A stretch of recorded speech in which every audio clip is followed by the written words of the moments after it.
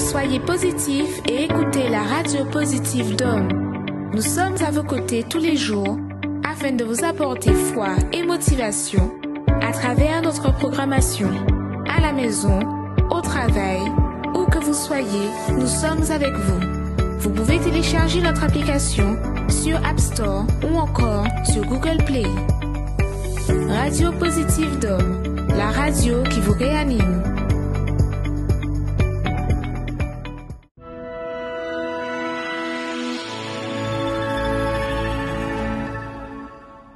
Bonsoir, bonjour, bonjour mes chers amis, bonjour madame, bonjour monsieur, bonjour à tous ceux et celles que nous accompagnent dans notre mission Foi en Action. Encore une fois de plus, je suis de retour avec vous tous, mes chers amis, pour pouvoir, mes amis, vous transmettre une parole de foi.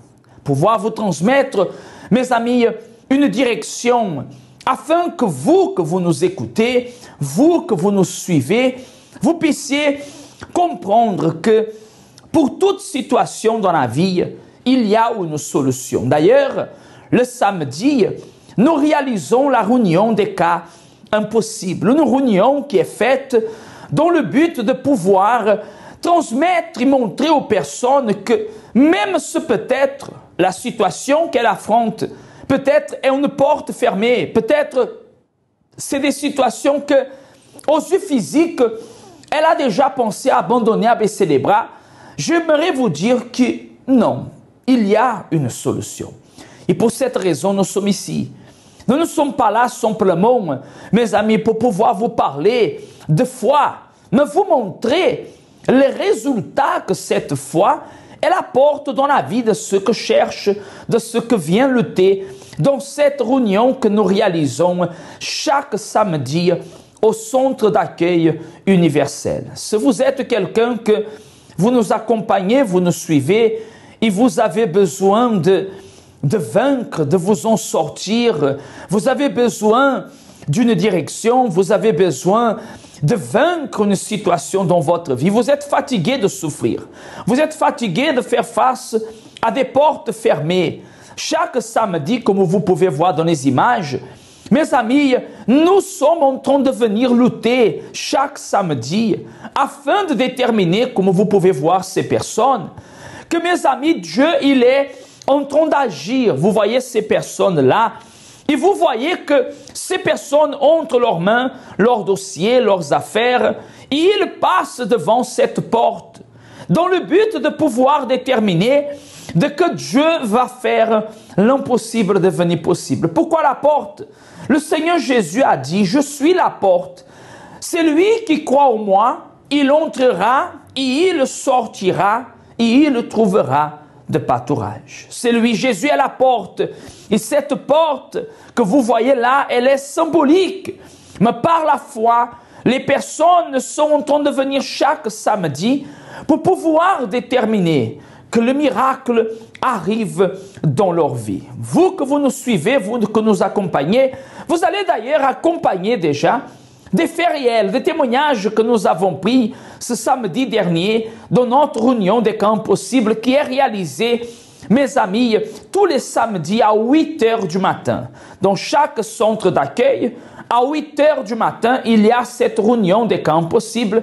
Ici, dans notre siège aux abîmes, nous avons plus à 15 heures. Mais spécialement à 8 heures du matin, nous serons en train de déterminer que dans votre vie, le pouvoir de Dieu va se manifester. Vous voulez, voulez-vous ce changement? Voulez-vous voir des portes s'ouvrir? Alors accompagnez ces faits réels, accompagnez ces témoignages des personnes qui ont témoigné dans la réunion, les portes qui se sont ouvertes dans leur vie, et vous allez accompagner le spot de la porte, et on revient d'ici à quelques instants. Bonjour. Quelle est la porte que Dieu a ouverte dans votre vie cette semaine? En fait, c'est pour ma nationalité française. Donc, euh, je suis d'origine étrangère, mais j'ai un père français. Et puis, depuis, enfin, il m'a reconnu à 18 ans quand je suis arrivée en Guadeloupe. Et depuis, après ma reconnaissance, j'ai déjà fait plein de démarches. J'avais fait un dossier tout de suite après il m'a reconnu. Le dossier a disparu. Je sais pas, j'ai tout préparé. Juste pour savoir, ça fait combien d'années Ça fait 23 ans. 23 ans que vous, en ayant droit à une nationalité, Oui. vous déposez les papiers, vous faites des démarches, Oui. vous avez fait tout. À chaque fois, on me dit, madame, on vous a reconnu à 18 ans, vous n'avez pas le droit. J'avais déjà fait ça au moins cinq fois déjà, mais à chaque fois, on me dit, non, non, non, j'ai pas le droit. Et là, vous avez décidé d'aller, d'affronter. Oui, j'ai écouté votre conseil, euh, le congrès du succès le lundi. Et puis, je suis allée, j'ai même quand j'étais, ce jour-là, quand même, j'étais avec mon père. Je suis avec, avec mon père. La dame m'a dit au guichet, euh, vous avez quel âge et tout? J'ai dit, j'ai, j'ai dit mon Voilà, âge, uh-huh. ouais. Et après ça, elle m'a dit, maintenant, mais vous êtes au grand et tout. J'ai dit, madame, déposez mon dossier. Depuis Après février. 23 ans, Après vous avez 23 ans. déposé là ce février. dossier. Oui. Et on m'a répondu, j'ai eu ma réponse euh, hier. Hier vendredi. Quelle est la réponse? Que j'ai ma nationalité française. Madame, bonjour. Quelle est la porte que Dieu a ouverte dans votre vie? Par rapport au travail, euh, le mois dernier, j'ai reçu une cliente euh, qui est venue me voir pour me dire que j'aurais besoin de vos services. Euh, enfin, c'est qu'elle enfin, je travaille dans le domaine de la petite enfance. Et elle avait besoin, je peux dire que c'était un gros contrat, mais il y avait un blocage dedans. Elle est venue me voir pour me dire, est-ce que vous pouvez réserver une place pour moi? Mais le souci avec la crise, c'est pas sûr qu'on me signe un contrat là où je vais travailler. J'ai dit, vous savez quoi, je vais vous signer, je vais vous réserver la place, mais vous allez travailler. Elle m'a dit, vous êtes sûre, madame? J'ai dit, oui, vous allez travailler. Parce que moi, je savais que je venais le samedi. Donc, je venais, j'ai déterminé son nom, j'ai agi ma foi pour elle. Et là, jeudi, elle m'a appelé, elle m'a dit, voilà, on m'a signé mon contrat hier, vendredi. Et là, je vais signer le contrat avec elle aujourd'hui à 16 heures. Gros contrat. C'est un gros contrat, oui. Qu'est-ce que Dieu a fait? Quelle est la porte qu'il a ouverte pour vous? Oui, c'est pour ma santé. Alors j'ai été voir où j'avais des résultats apportés pour le docteur. Alors je suis allée hier et puis elle m'a dit que tout va bien. Alors moi qui l'a dit, moi je voulais euh, faire une prise de sang pour j'ai des boutons qui me grattent, qui me piquent. Alors elle me dit, mais vous tout est normal, votre cœur, votre foie, votre euh, cholestérol, tout est bon, tout est bien. tout, Alors, tout va bien. tout va bien. Vous avez quel âge, maman? Et 81 ans, bientôt de 82 ans. Il n'y a rien de plus humiliant que de dépendre des autres. Seuls ceux qui passent par cela connaissent cette douleur. Vivre d'un salaire minimum, d'une aide, de la faveur d'un être cher, recevant les restes pour survivre. C'est la réalité que beaucoup sont en train de vivre dans cette période. Dans tout lieu où vous allez, ces problèmes vous font face. Porte fermée, vie bloquée. Nous vous convoquons à vous qui êtes dans cette situation pour agir la foi dans le Dieu vivant.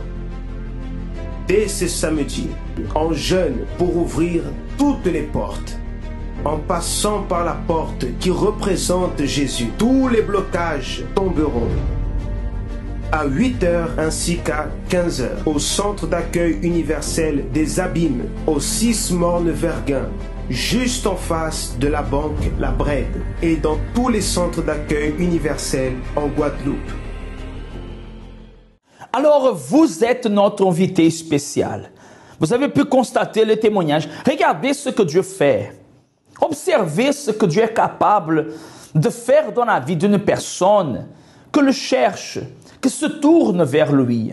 Je répète, cette porte que vous voyez là dans les images, elle est symbolique. Mais par la foi, elle est en train d'être dans la vie des personnes cette porte ouverte. Si vous avez la foi, si vous croyez à la parole de Dieu, alors je vous invite aujourd'hui à 8 heures du matin à y être présent ici dans notre centre d'accueil, ici aux Abîmes, au 6, no- 6 Morne-Verguin, pardon. Au 6 Morne-Verguin, en face de la brède entre le KFC et le McDonald's, et vous pouvez recevoir, mes amis, cette prière. où certainement dans votre vie, vous verrez l'impossible devenir possible. Et en chaque centre d'accueil, à Pointe-à-Pitre, à Baïf, à Saint-François, à Martinique, à la Cayenne, il a les adresses que exactement il passe dans votre téléviseur. Et vous pouvez nous contacter, vous pouvez vous adresser au centre d'accueil le plus proche de chez vous. Vous n'avez rien à payer, vous n'avez rien à faire à part venir avec la foi. Parce que c'est la foi, la foi, oui, la foi que vous avez, que va pouvoir vous permettre d'avoir ce miracle. Et nous, nous ici, mes amis, nous allons accompagner. J'aimerais que vous puissiez accompagner ce témoignage, le témoignage de cette dame que, mes amis, est, est vraiment surprenant ce que Dieu a fait dans sa vie. Vous allez écouter attentivement ce qu'elle raconte, ce qu'elle dit de son histoire et le conseil qu'elle vous donnera. Oui, accompagnez attentivement parce que tout de suite après, je reviendrai avec vous tous pour pouvoir nous préparer pour la prière de la foi. Bonjour, je m'appelle Franciane.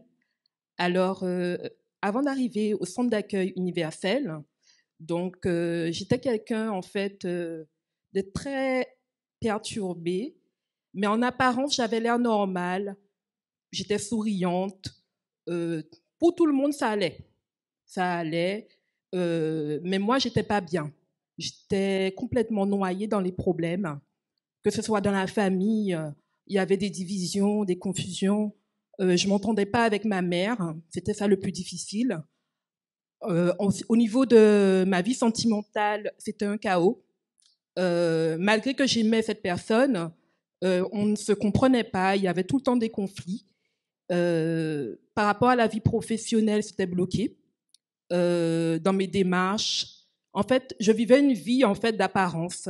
Je souffrais beaucoup, et surtout dans la vie spirituelle, je ne m'étais pas rendu compte jusqu'à ce que j'arrive au centre d'accueil. Mais en fait, j'ai été invitée par une amie parce que je lui ai expliqué en fait que je cherchais un endroit où trouver une solution en fait. Je lui ai expliqué mon problème et elle m'a invitée au centre d'accueil. Et une fois que j'ai mis le pied au centre d'accueil le un vendredi euh, pour la délivrance, j'ai compris en fait que derrière tous les problèmes que j'affrontais, il y avait quelque chose de spirituel. Parce que c'est pas que je ne luttais pas, mais j'étais, j'étais acculée de problèmes de toutes parts qui, qui me surchargeaient et je ne voyais pas le bout du tunnel.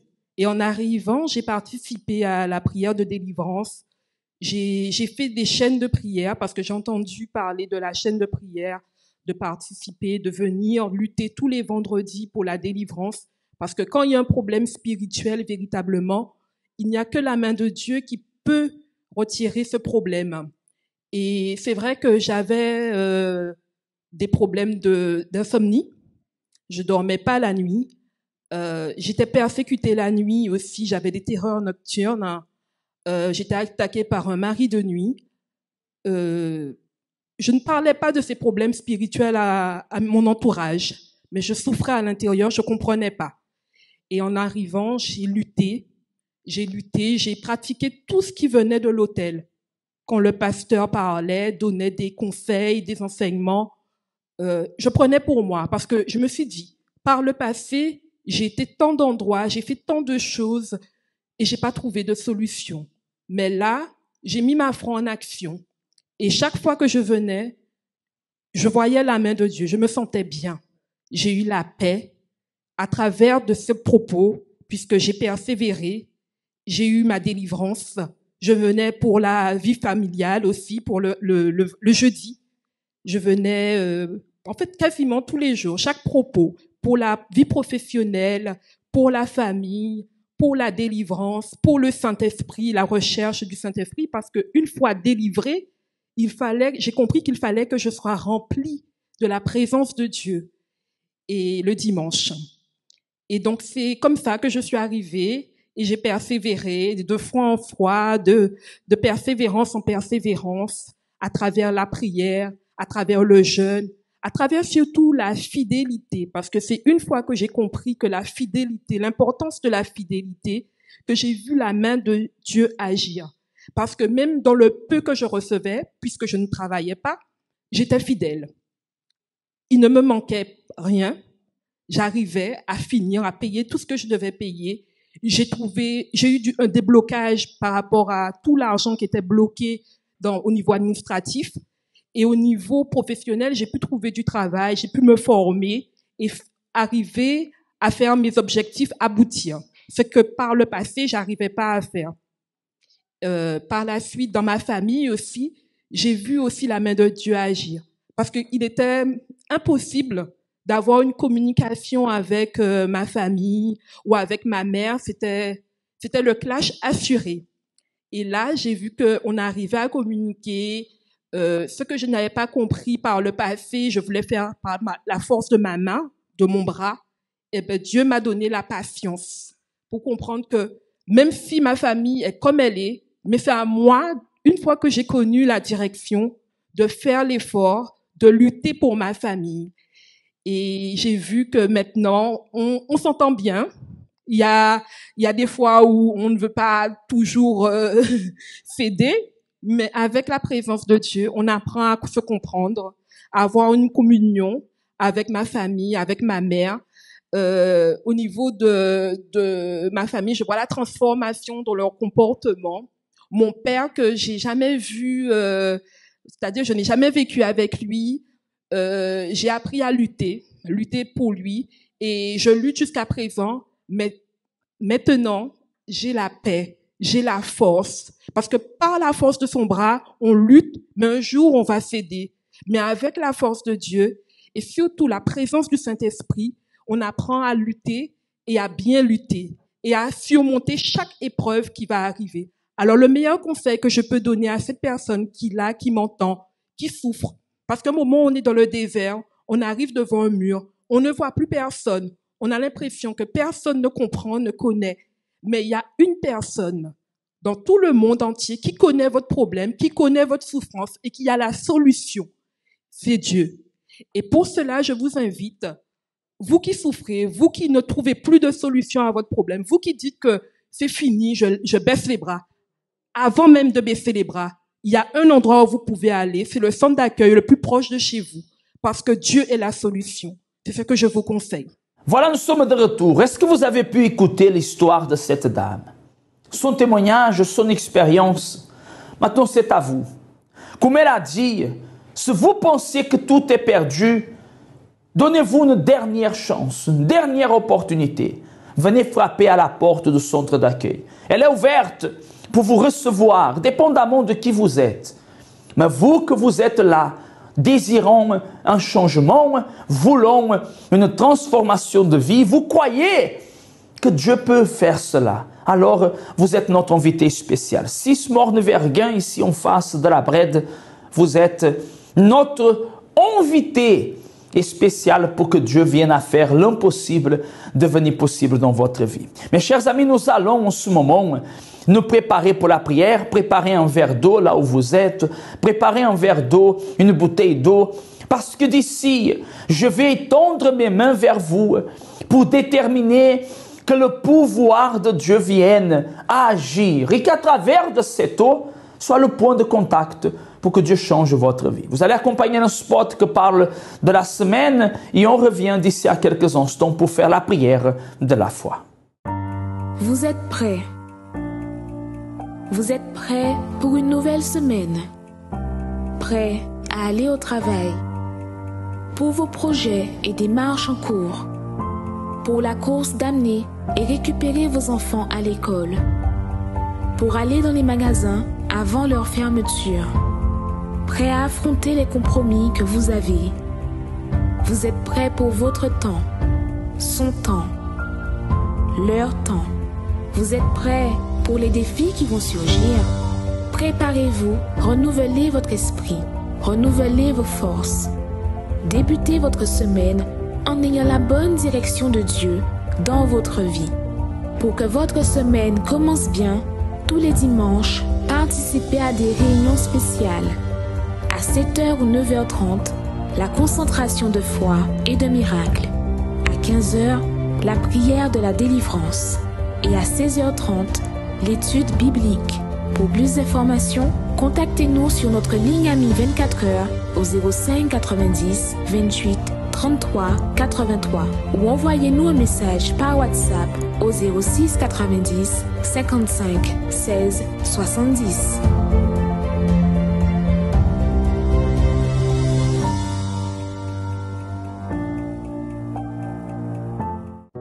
Un moment là ça, participez à une prière spéciale. C'est bon moment pour parler avec bon Dieu, d'avoir. C'est les tout seul il peut aider. Nous caille semble fois en nous bazote. Seigneur notre Dieu Seigneur notre Père, mon Dieu, nous sommes devant ta face, devant ta présence, et nous intercédons en faveur de tous ceux et celles qui sont unis par la foi avec nous. Tous ceux et celles que nous suivent, que nous accompagnent, que nous écoutent, et qui ont besoin, Seigneur Jésus, d'une direction, ont besoin de mon Père de recevoir une parole de force, Seigneur. Des personnes que peut-être sont en train de faire face à un impossible, à un problème impossible dans leur vie, à une situation que, aux yeux physiques, semble parfois être un cas irréversible, impossible, rien à faire. Mais mon Dieu, tu es le dernier espoir, tu es la dernière porte, mais la porte qui ouvre et que personne ne peut fermer. Ah Seigneur, viens à la rencontre de ces personnes. Au moment qu'elles vont boire de cette eau, qu'elles reçoivent vie, santé, délivrance, liberté, transformation, qu'à travers de cette eau, Seigneur, soit le point de contact pour que cette personne retrouve force et courage pour se battre et pour lutter. Seigneur, je remets la vie de tous et de tous ceux et celles que nous écoutent et que nous accompagnent. Au nom du Père, du Fils et au nom du Saint-Esprit. Au nom du Seigneur Jésus. Et si vous ainsi croyez, dites Amen, buvez de cette eau et soyez bénis par la foi. Qu'ainsi soit-il, mon Dieu? Soyez bénis au nom du Seigneur Jésus. Grâce à Dieu. Mes chers amis, que le pouvoir de Dieu vous touche, qu'il vous guérisse, qu'il vous relève, qu'il vous fortifie, qu'il vous libère, qu'il apporte l'allégresse au lieu de la tristesse, qu'il change votre vie et bien évidemment qu'il vous donne la force pour que vous puissiez venir exactement changer cette situation.